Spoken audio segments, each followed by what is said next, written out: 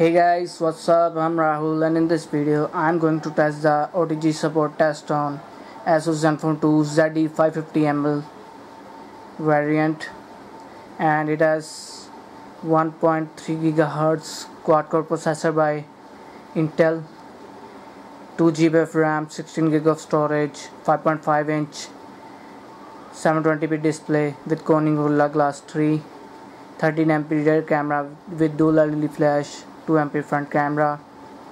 Sorry 5 MP front camera. So let's just check whether it supports OTG or not.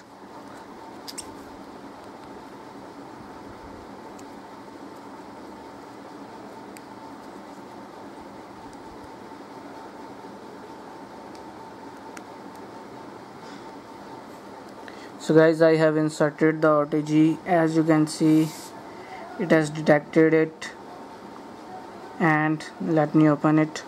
And you can see I can easily access the files on this pen drive.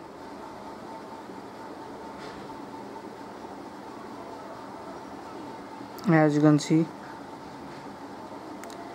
So guys that's it. Hopes you like my video and please do subscribe. Take care